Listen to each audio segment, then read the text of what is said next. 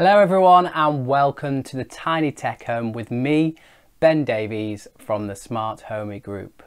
Now, it's been a while, uh, I must admit, since I've been on here. However, we have been installing lots of smart homes in the meantime, so hopefully we can kind of pass that information and that skill set over to you guys. So, this week we are talking sensors, something super important when it comes to smart homes and specifically this week we are looking at the Faradite PIR sensors.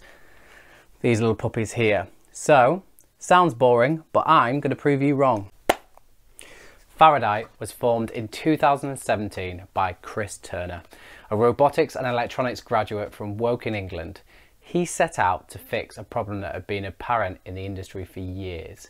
How do we make a compact and powerful sensor that all platforms can use. And the Motion Sensor 360s were born. Now you're going to tell me that a sensor is just a sensor. Well, you're wrong. Not all PIRs are made equal. The biggest problem in the industry before Faradite came into the picture was there were lots of sensors specific to each brand of control and lighting system. All were good, but it meant you were forced to sometimes go with an ugly option to a client, which is a big problem in a luxury industry where we should be installing stealthy home automation. So Faradite set out to make the smallest PIR on the market to work in synergy with all control systems.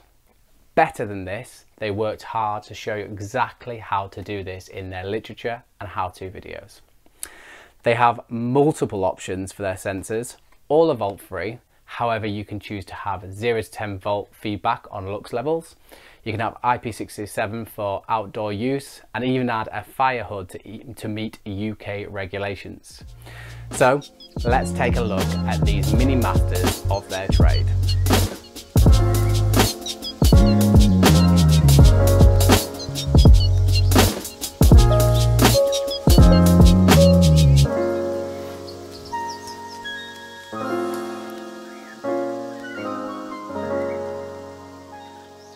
Okay, here is our array of sensors from Faradite. So on the left hand side we have the volt free unit powered by 5 to 35 volt and then obviously volt free on the outside to your home automation system.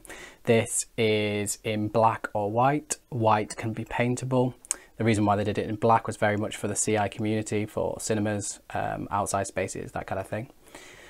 Then we have the same version as IP67 as you can see with this, obviously we've got a rubber grommet at the top of, the top of it and access to the internal part is all enclosed off and this is all kind of sealed from this side. So once you bring that through into the connector block, seal it back up, screw it back down, and then it's kind of ready for an IP67 environment like outside or bathrooms. Finally, we've got the 0 to 7 volt uh, version on this side. Um, slightly different, powered slightly differently, and obviously gives you feedback on both the lux level of the light input into the sensor and motion as well as that. So it gives two kind of communications back to your home automation system. Super useful for um, environments where you want triggers to be specifically done, whether it's dark, whether it's light, that kind of thing. Finally, we have the fire hood, which can fit on all of these devices and um, makes it UK compliant. So there we go. A couple of nice features about these sensors. The actual connector block itself, which is here, that can be pulled out, he says. There we go.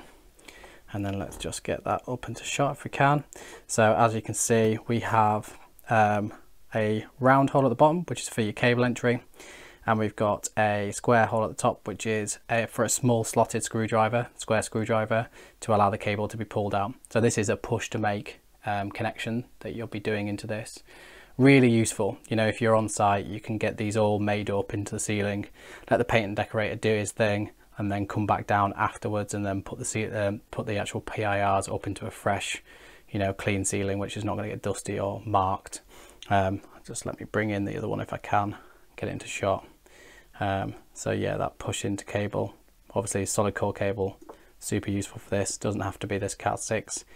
it can be a solid core um, kind of paired cable or Belden cable as well. Uh, just slightly harder to actually get into the actual unit itself. But yeah, once all done and dusted, it's just a case of pushing it back into the unit and then popping that up into the ceiling. As you can see from the size of my hand, not big hands, but very, very small sensor. Um, looks great when it's on the ceiling and very discreet. And that's basically its job. Love to hear your thoughts on these Faradite sensors. This is a product that we here at Smart Homey personally install, so we're happy to take questions on them. Just leave a comment below. I will post some links to their website and sensor guides which are useful to any installer's knowledge. Their team are always happy to chat and if it goes beyond our skill level, skill level just reach out to them. Thank you to Chris and the rest of the Faradite crew for sending out the whole sensor portfolio for us to test and we'll see you in the near future for some more home technology reviews and tests. As always, please like our videos and subscribe to our channel if you are into professional smart home tech and I'll see you next time. Signing out.